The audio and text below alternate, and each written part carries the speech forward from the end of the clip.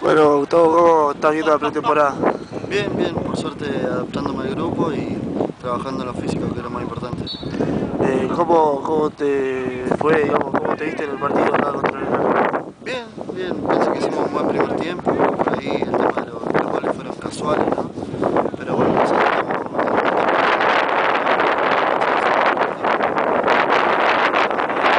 Sentiste más tarde que el resto de